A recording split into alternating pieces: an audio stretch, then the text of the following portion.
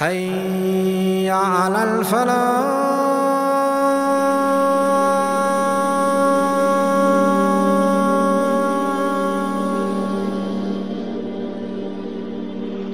Before his birth, he lost his father, sallallahu alaihi wasallam. Within the first three, four, five years of his life, he lost his mother.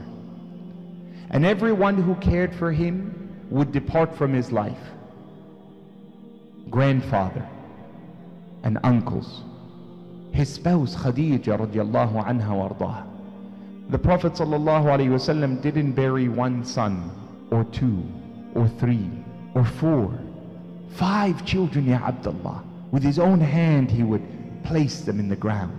At seeing people who raised him, knew of his honesty and trustworthiness, for no reason claiming him unstable, dishonest, fraudulent. That you see these people, their footmarks are all over you, they're in every part of your life. They know you like they know the back of their hand. It's not that they deny that you have come with truth, but it's that they have a distaste and a distrust to the word of Allah subhanahu wa ta'ala, a hatred for what is right. It is as if Allah subhanahu wa ta'ala looked into the hearts of the people of the earth.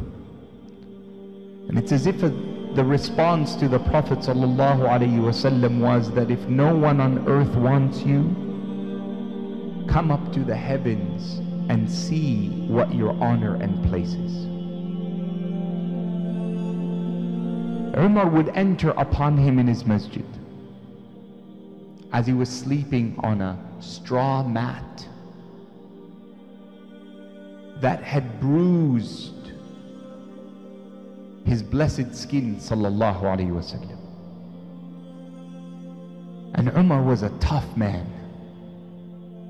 and he saw the back of the Prophet ﷺ scratched and bruised and discolored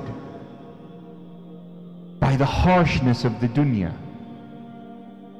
When the world could be at his feet, sallallahu alaihi wasallam, Umar wept.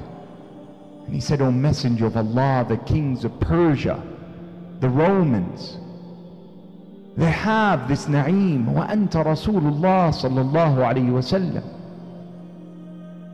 The Prophet would say, wa mali walid dunya. What do I need from the dunya? He faced as an individual what an ummah faces in its collection. Sallallahu Alaihi Wasallam. When Mecca refused to accept, the Prophet ﷺ determined to head out to the people of Ta'if. And as he entered upon them, hoping to have a moment of an audience to speak in truthfulness and honesty about faith, they released upon him the imbeciles of their society, who they had given boulders and rocks, and they said, When you see him, pellet him. And the Prophet ﷺ was so injured by it. And he had to walk that mile of condemnation to lead himself out of Ta'if, being abused and hurled until a Christian invited him to a place of refuge and sat him in a place under the shade of some trees and gave him something to eat and some water to bathe and to cleanse himself with. The Prophet made a dua. O most gracious of those who show graciousness and favor. O the merciful of those who show mercy, to who have you left me? To an enemy who seeks to obliterate me? Have you given me over to relatives of mine who you've subjugated me to, O Allah? Nevertheless, O Allah, if no anger is the cause of this, I am willing to withstand it, O Allah.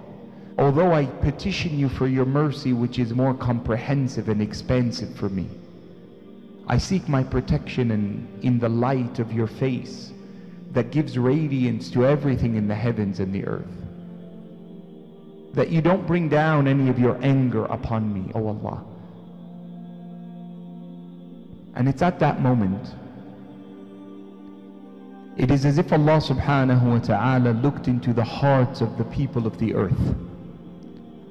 And it's as if a, the response to the Prophet sallallahu alaihi wasallam was that if no one on earth wants you, come up to the heavens and see what your honor and place is. In that year of Al-Isra wal-Mi'raj, which is unknown definitively to the ulama, Allah opened for him a gateway out of this worldly life into the upper heavens. Glorified is Allah. In full control is Allah who has transported in a night journey. Jibreel descends to the Prophet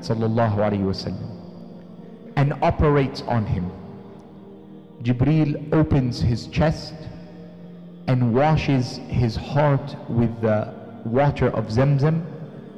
And then the Prophet ﷺ is cleansed of anger and hatred and iman and hikmah is added to his heart.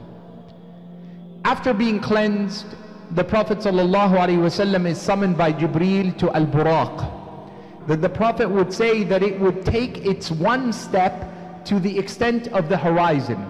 And subhanallah, as he comes to ride Al-Buraq, it begins to cause a stir. And Jibreel is the one who settles it down and says, Mount him, O Muhammad sallallahu alayhi wasallam. When the Prophet ﷺ arrives in Bayt al-Maqdis, Jibreel orders the Prophet ﷺ to tie his buraq to the ring that the prophets used to always tie their animals in. After having led the prophets of Allah in prayer, the Prophet ﷺ ascends. the heavens gates are closed. The angels of the first heaven they say who are you?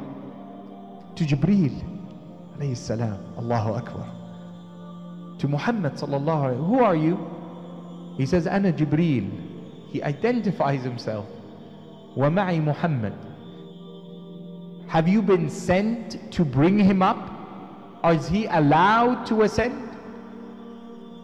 Yes he's been asked for by Allah subhanahu wa ta'ala.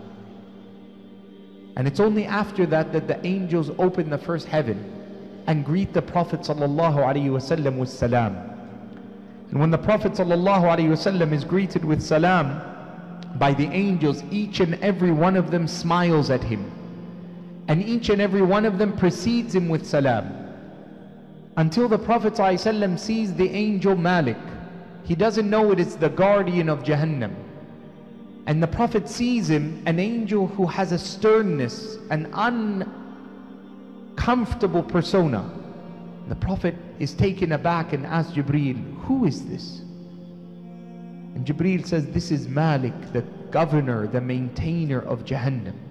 Ya Muhammad, precede him with salam. In the first heaven, he meets Adam alayhi salam.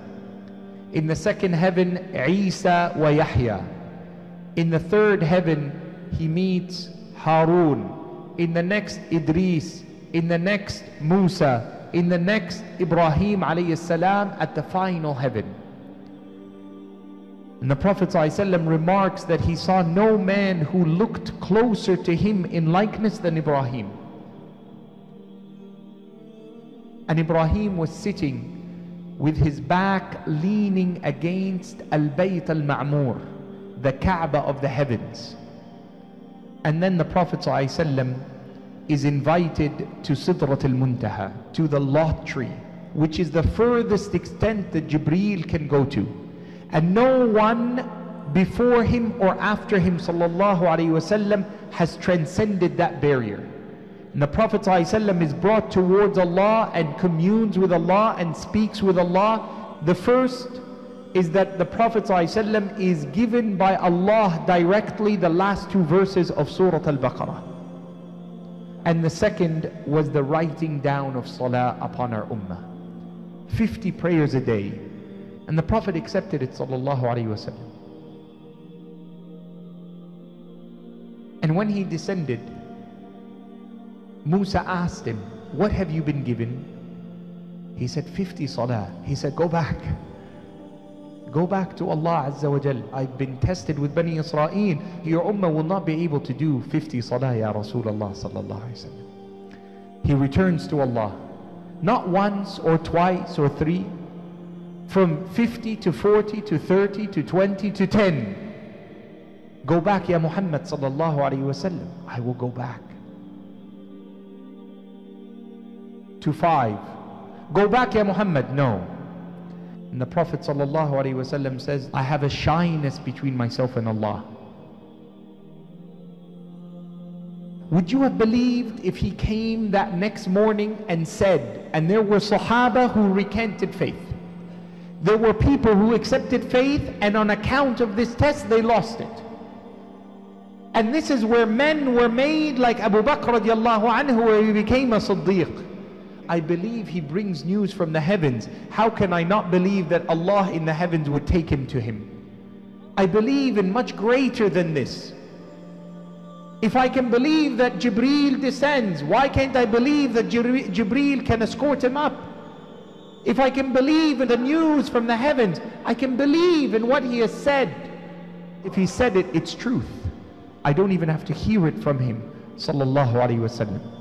Al-Isra wal Mi'raj is about your iman. Do you have that belief in the Prophet sallallahu alaihi wasallam? Do you have that love for Bayt al-Maqdis? Do you have that diligence in your salah? That willingness to honor Allah subhanahu wa ta'ala? And finally, do you, my dear brother and sister, have the desire to connect with the Quran on a greater level than just the surface? And to look into the word of Allah and to extract from it the lessons that will upright and adjust my life and your life. And I pray that Allah subhanahu wa ta'ala forgives our sins, hides our shame, and cures our hearts from all evil and neglect. Wassalamu alaikum wa rahmatullahi wa barakatuh.